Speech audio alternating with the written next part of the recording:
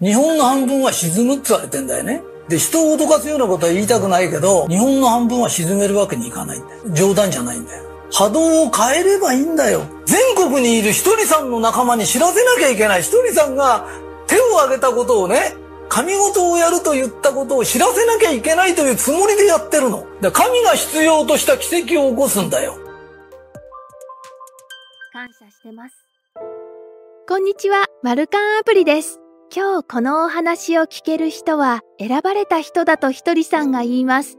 自分の身に起きることに偶然はなく、すべては必然ですから、ここでひとりさんのお話に出会えるのも必然の一つです。21世紀は魂の夜明けだとひとりさんは言っていて、これまで想像もしなかったことがまだまだ起きるようです。振り返れば、21世紀になってから私たちは天才やら人災やら想定を超える災いにさらされてきました。それを思うと、これから先のことが不安に思えます。今回は私たちがこれから先ずっと幸せでいるための大切なお話です。このことが分かれば、個人的にも世界全体にも明るい未来がやってきます。とても大切で貴重なお話ですので、じっくり聞くことをお勧めします。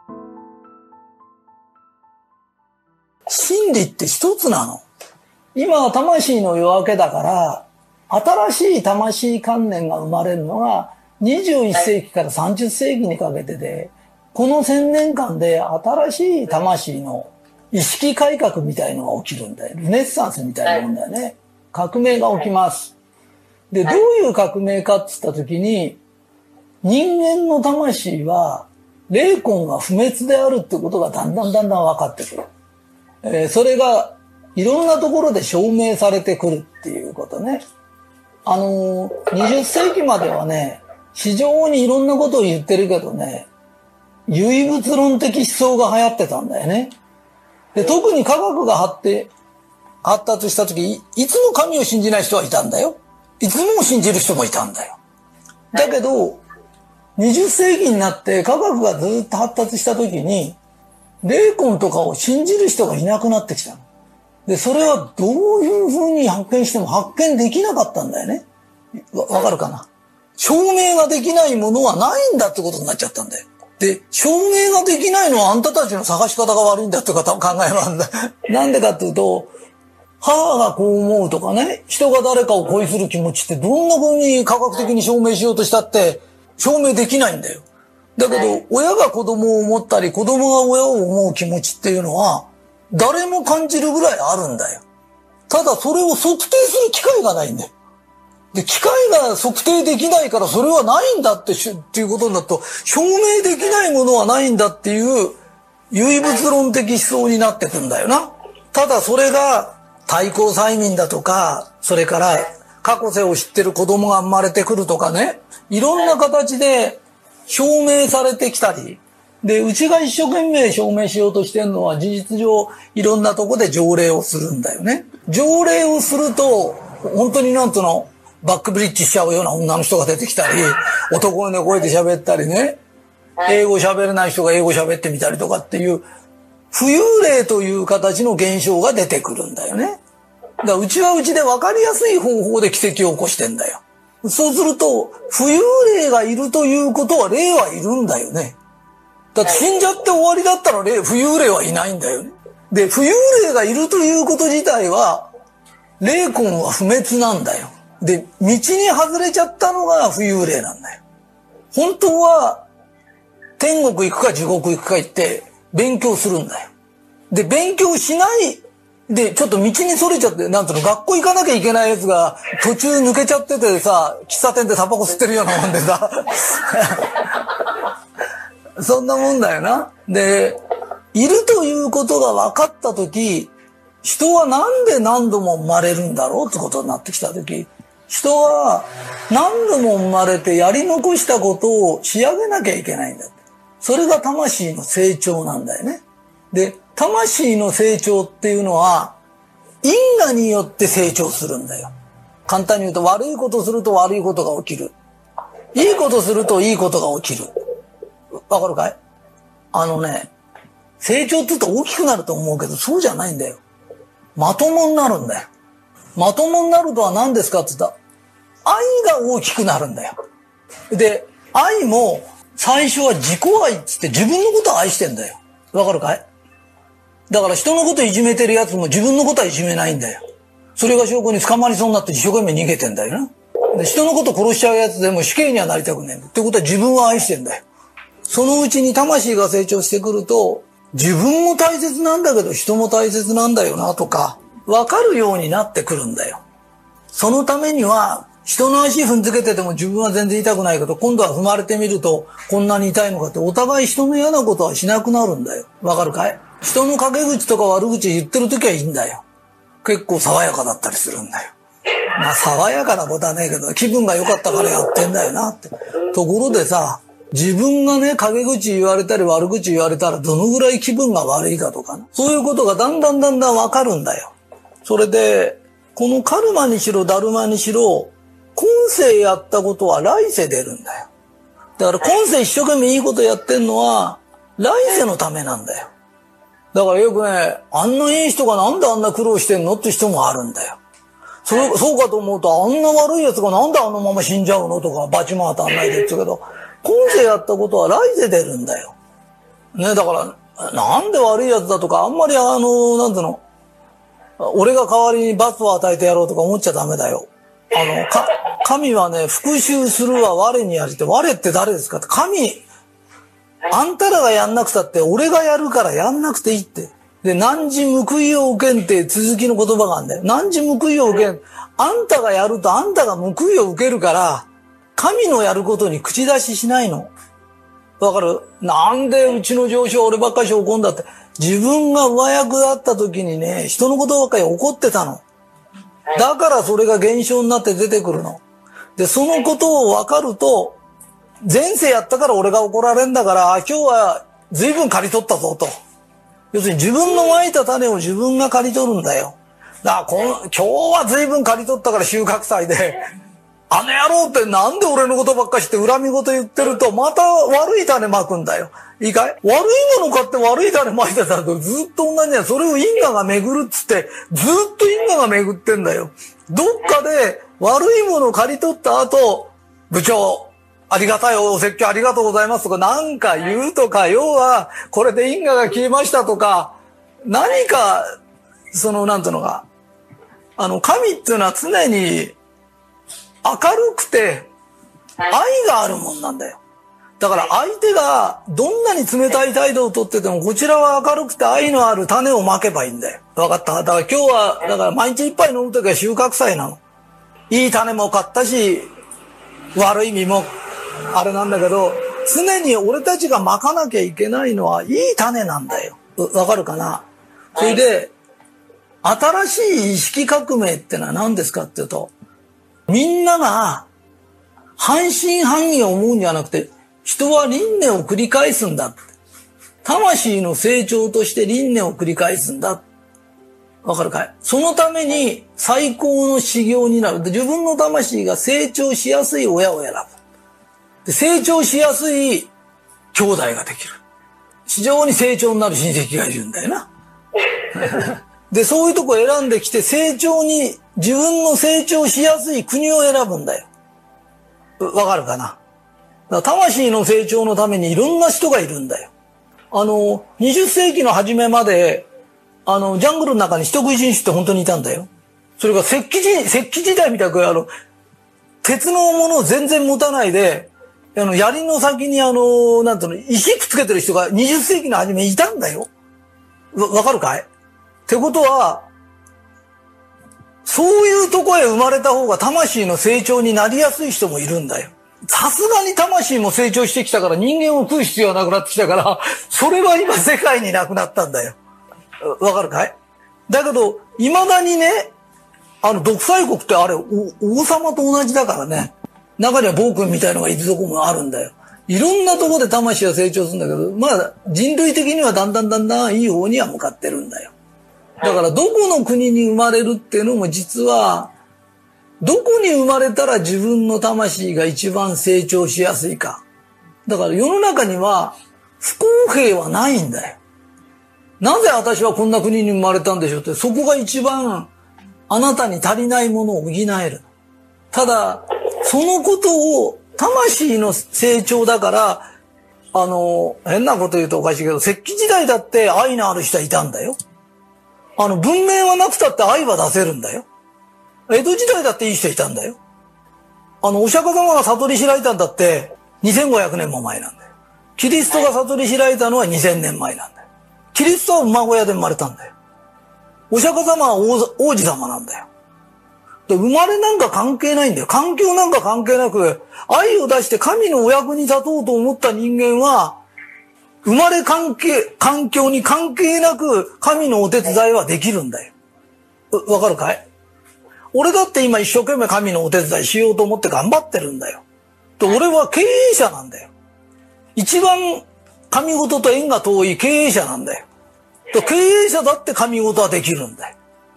それで、実のこと言うと、経営というのは、みんなすごく難しいように思うけど、この世のもの、この地球にある金だって銀だってお金だって、牛だって馬だってゾウさんだって、本当の持ち主は誰かっていうと、神が持ち主なんだよ。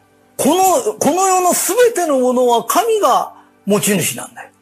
神がくれると言ったら絶対にくれるんだよ。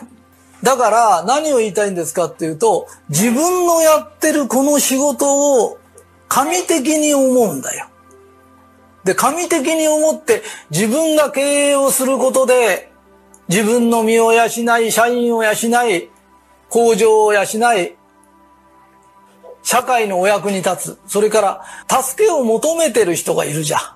そういう人たちに愛と希望と安らぎ、要するに不安を与えないような生き方をしてると、不安を煽っても物って売れるんだよ。でも絶対に長続きしないんだよ。それで、みんなが安心して生きられるような人が求めてるものをちゃんと出してる仕事は神のお手伝いなんだよ。神のお手伝いに不況は絶対にないんだよ。だって神の仕事に不況なんかがあるわけがないんだよ。だから、事実上ね、うちも仕事をしてるんだよ。で、こういうのを、俺がどうして奇跡が起こせるんですかって言うと、奇跡は自分の死を高くするって言うんだよ。死を高くするっていうのは目的を高くするんだよ。坂本龍馬というのがなんであんだけ奇跡を起こしたかっていうと、昔は藩っていうのは土佐藩とか、自分の国を指してたんだよ。国っていうのは自分の国だったんだよ。会津藩は会津だったんだよ。ところがその時に坂本龍馬は日本国家のことを考えたんだよ。だから死が高かったんだよ。意志が、要するに誰のために尽くすかが違ってたんだよ。で、ひとりさんが言わくね、死が高いというのは高い山、高い山から水流さない限り行き渡らないんだよ。要するに水は高きには登れないんだよ。それと同じように俺たちもどこから始めるかなんだよ。で、俺が言ってんのは、俺は雨の皆神主様のお手伝いをしたいということで頑張ってるんだよ。そうと、神様のお役に立ちたいという以上の高い死ってないんだよ。で、まして今はやっとね、21世紀は魂の夜明けで、本当の魂に目覚める時なんだよ。で、俺は20世紀も見てきたし、21世紀も生きてんだよ。またげる人って難しいんだよ。千年周期なんだよ。で、で、今やっとみんなが魂に目覚めるときに何を教えたいんですかって言ったとき、人は輪廻をするんだと。で、因果は絶対に親の因果は出ないんだよ。だから魂の夜明けにいろんなことが起きるからな。そういうことを教えられるものがあったらすごく楽なんだよね。それで、俺たち発行の戦士やなんかっていうのは、そういうことが分かって神様のお手伝いをするんだっていうことなんだよ。あのね、売り上げ上げたいんだとかってこと、売り上げは勝手に上がるの。なんでかと必要なだけくれるの。で、神は神に必要なだけくれるの。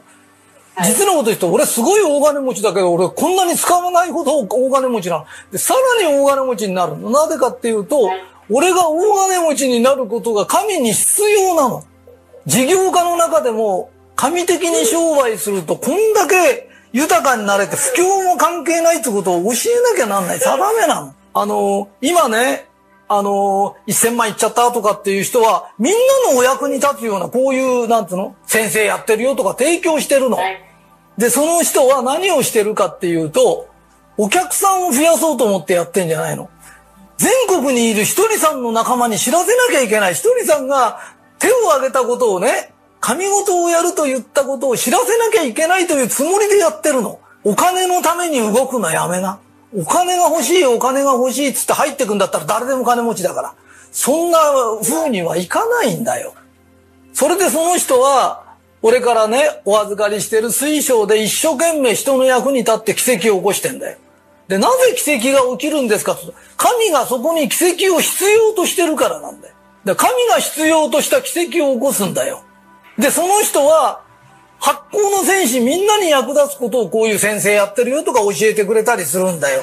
その結果またあっちこっちで奇跡が起きるんだよ。あのね、神はその人に必要な分だけのお金をくれるの。で、必要とは何ですかって、世間のお役に立ち方なの。世間のお役に立てば立つほど入ってくるようになってるの。だからね、みんな、前世にろくでもね、因果積んでんだよ。だって今だって未熟なんだから、何も100代前なんかひどいことになって、決まってんだよ、そんなことは。だけどね、もしね、因果を全部消せなくて半分にしたいとか、3分の1にしたいって言うんだとしたら、火を高くして、神様のお手伝いしな。で、神様のお手伝いして、絶対損になることはないの。神様のお手伝いしながらね、生活が苦しくなるとかありえないの。わかる？心、心も豊かになるの。人間関係も良くなるの。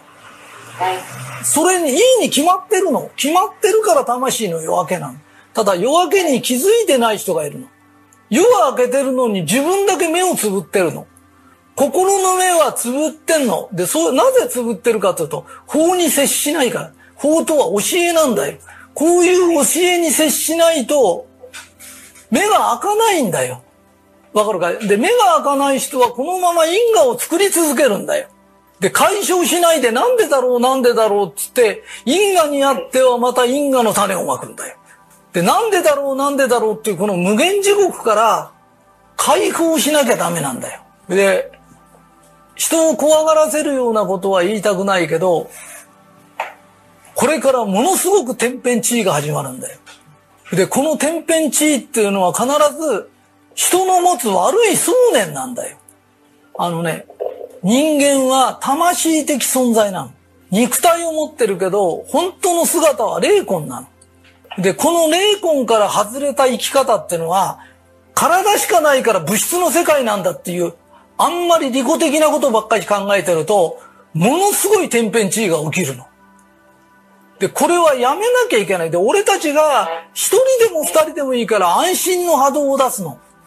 神を信じる、安心する、心配するのが当たり前のような、それからテレビでもなんでも心配することバンバンやるの。悪いことをすれば悪いことが起き、いいことすればいいことが起きる。そういうの一切無視するんだよ。学校でもなんでも一切教えなくなった時、少年犯罪からなんか犯罪がだんだんだんだん子供が、青少年を守ってやんなきゃいけないってその守ってやんなきゃいけない青少年が一番暴れたりしてんだよ。で、それって何ですかって言うと、この世は楽しく生きたら、要するに、この世のことしか、今のことしか考えてないんだよ。前世があることも過去世があることも一切無にしちゃったら、強い奴は弱い奴いじめても、そいつから物取っちゃってもいいんだってことになっちゃうんだよ。どんな悪いことしようがね、法律にさえ触れなければ、道義が悪かろうがなんだろうが金儲けしちゃえばいいんだなんだよ。本当は俺たち働いたら、働いた分税金を納めて年寄りが生きられて道路作って小学校作ってって、起業家はそのためにやんなきゃいけないんだよ。それを1円でも払わない方が得だから、それってあんたの会社のことだけ考えてんだよなって。で、必要もない保養所作ったり、必要もない土地買って節税だって喜んでるけど、そういうの長続きしないんで、不況が来たら一発なんだよ。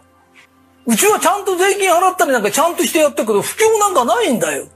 この世のものは全て神が持ってるもんなんだよ。神がくれると言ったら絶対にくれるの。必要があろうがなかろうがそんなことはどうでもいいの。神様のお手伝いをすると全然違ってくるの。悪いことはひどくだじゃないの。今世出ないだけなの。来世に出るの。死んですぐあんた地獄に迎えが来るから、悪いことしてる奴は地獄行くの。で、そういうことを、すべて嘘のような教育をしてるけど、情緒教育だとか、な、なんかわかんないけど、勉強の時間を減らしたらいい子ができんじゃないかって。できるわけないだろ。大体サボってるやつ勉強なんか花からしてないんだぞ。ね、そういうやつにゆとりを与えたって、あの、言ってることがおかしいんだよ。俺たちは魂的生き物なの。肉体は召使いなの。あの、召使いが天下取るような生き方はおかしいの。で、そんなことやってると、それがうーんとひどくなっていくと、ノアの箱舟の時でも何が神が怒ったかっていうと、みんな個人個人のことを考えすぎるの。起業家だろうが何だろうが、企業だって社会に対する貢献っていうのがあるんだよ。あんまり利己的なことを各自で考え出すと、消滅させられるんだよ。この地球に何回もそういうことが起きてんだよ。で、もう一回これを起こすのか、やめさせるのか、もうそろそろ考えなきゃいけないんだよ。アトランティスが浮上するとかって大騒ぎしてるが、アトランティスが浮上したらどっか沈むんだよ。あのな、全部が浮き上がるってことはないんだよ。この世の中の法則で、100万坪浮き上がったらどっかが100万坪沈んでんだよ。俺は日本担当だから言うけど、あの、昔からあの、日本沈没とかって話が出てくるたんびに言うんだけど、根拠がなくて言ってんじゃないんだよ。日本の半分は沈むって言われてんだよね。で、人を脅かすようなことは言いたくないけど、日本の半分は沈めるわけにいかないんだよ。冗談じゃないんだよ。波動を変えればいいんだよ。はい、それでその波動を変えることが一番幸せで一番楽しい生き方なんだよ。人の魂は不滅なんだよ。なんで不滅なんですかって言ったら魂が成長するため。悪いことをした奴は必ず来世に出るの。で、いいことしたのも、だから絶対にそういうのはないの。で、俺たち、帳消しの機械って言っちゃおかしいけど、今神様が必要としてるの、発行の条例を広めたいの。この教えを教えたいの。だから神様のお手伝いをすればいいの。だから俺がもう神様のお手伝いをするの。そう、来る人も聞く人を集めるんじゃないの。聞く人を一生懸命集めましょうとか、俺宗教団体みたいな話してんじゃん。本物は向こうから来るんだよ。だから、たった十何人で始めたものが何ヶ月で、ね、今2000人が入れないでどうしようって言ってんだよ。この偉大な事業に参加させられ、していただけるね、さしていただける俺も幸せ。みんなも幸せなんだよ。そのことが分かる人だけでやればいいんだよ。で、分かる人だけで足りるんだよ。もし誰も分かんなかったら俺一人でやればいいんだよ。えー、俺たちはもう少しさ、大きい死を持って仕事しよう。そしたらさ、こんなちっちゃいさ、マルカンってこんなちっちゃい会社でもね、こんだけのことができるんだよ。イエス・キリストは馬小屋で生まれたってあんだけのことができたんだよ。だから、場所の問題じゃない。どのぐらい高い死を持ってるかな。で、俺もひとたびこうやって動き出した以上、雨の皆か主様という人のお役に立つために頑張るの。何をしたいかっていうと、一点、魂の夜明けなの。今から千年かけて、科学的にも全ての面で人が輪廻転生することがわかる。地球は平らだと思ってたんだよ。でも今丸いってことが分かったんだよ。その前は地球、地球の周りを太陽が回ってると思ってたんだよ。だけど今は太陽が回ってると思ってるやついないんだよ。だけど、それがみんながね、人は輪廻転生するんだ。それから因果は自分がやったことが起きるんだ。今世やったことは来世のためなんだ。ね。それから高い意志を持ってみんなに尽くそうと思ったとき、その人に奇跡が起きるんだよ。定めが変わるんだよ。わかるかい？普通の人と同じこと考えてると普通のことしか起きるわけないんだよ。私には奇跡がなぜ起きないって起きるわけねえよ。普通のこと考えてんだ普通で十分だろうって。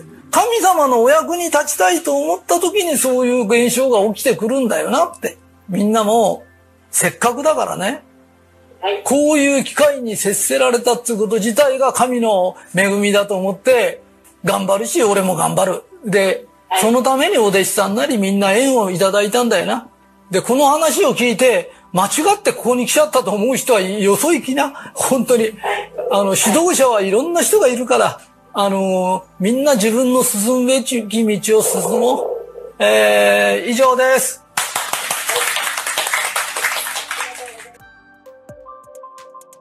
感謝してます。唯物論が主流だった20世紀が終わり、私たちは今、魂の夜明けの時代を生きています。人間はこれまで科学の発展を追いかけて、20世紀はそのピークにありました。科学が悪いということはありません。ですが科学に傾倒した人間は科学にないことが信じられなくなっていきました。魂とか生まれ変わりとかを科学では証明できていません。科学で証明できないものは存在しないものと決めつけたことが私たちの不幸の種になっています。科学で証明できなくても人間の気持ちや思いは存在しています。見えないけれど神様も霊も確かにここにあるのです。私たちは誰でも神様の意向に従って歩んでいれば必ず幸せになれるように作られています。幸せになれなかったり辛いことばかりが続くならそれは神様の思いに反していないかと見直す時です。神様の思いを知るときにまず知っておきたいことがあります。それはこの世にあるすべては神様のものだということです。生命や環境はもちろん、お金や知恵もすべて神様のものです。あるものをどこに割り振るかは持ち主の考え次第です。持ち主である神様がこの人にお金を渡したいと思えばそうなりますし、ここに知恵を授けようと思えばその通りになります。お金持ちになりたければ神様がお金を渡したいと思う人になることです。神様は個人の欲を満たすために何かを与えたりはしません。あのカバンが欲しいと思ってもそれが降ってくることはないのです。ですが神様がそこに必要と思えば必ず与えられます。ひとりさんが大金持ちなのは神様がそれを望んでいるからです。ひとりさんにお金を渡せば、ひとりさんはそれを社会のため、みんなのために使います。それが神様の望みです。これは仕事や人生すべてに通じることです。商売を伸ばしたければ、売り上げのことばかり考えていても思うようにはなりません。自分が商売を通じてどのように社会貢献できるかと考えたとき、神様がそのために必要なお金を与えてくれます。神様が何を望んでいるかと考えて、そのために自分ができることを見つけていれば、自然に物事はうまくいって、最終的に欲しかった富や幸せは手にできます。これが神的に物事を見るということです。目の前の売り上げやら欲しいものに気持ちを奪われるのは普通の人です。普通の人には普通のことしかやってきません。もし奇跡を起こしたいなら、普通ではなく、もっと上の次元で考えなければならないのです。魂の夜明けとは、このことに気づくことです。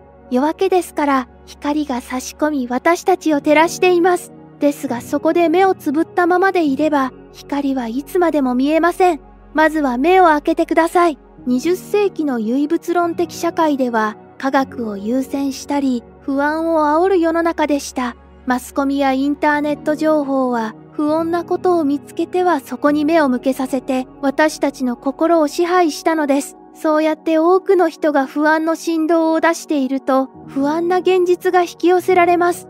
実際にこれまでもいろんな災害やら事件やらが現実になっています。これからも同じことを続けていれば、同じような現実が続いていきます。不安な現実を望まないなら、神様を信じて安心の波動を出さなければなりません。そのためにまず自分の中の魂を感じてください。人間は肉体と魂とでできていますが、主は魂で、肉体はその使い手です。世間の意見やら本当かどうかわからない情報に惑わされているのは肉体である脳の方です。しっかりと魂の声を聞いて脳を制御してください。ひとりさん曰く、この世の真理は一つです。神様に関することはいついかなる時も揺るぎなく不滅の魂と共にそこにあります。ひとりさんは神様の声をいち早く聞いて、それを私たちに届けてくれています。私たちのいるこの地球は神様が作ったものです。そして私たち自身も神様によってここに来ています。神様は自分で作ったものを悪いようにしたいなどと思ってはいません。もっと幸せにもっと楽しくなることを望んでいます。その心を信じてください。魂の夜明けに立ち会い、ひとりさんのお話を聞いたなら、率先して神的に生きて幸せになることが私たちの使命です。目を開けて夜明けの光を見るのです。不安やこだわりはいりません。私たちはみんな明るい未来に向かっているのです。少しでもいいなと思ったら応援の意味も込めてグッドボタンとチャンネル登録お願いします。あなたにすべての良きことが雪崩のごとく起きます。それではまた次回の動画でお会いしましょう。感謝してます。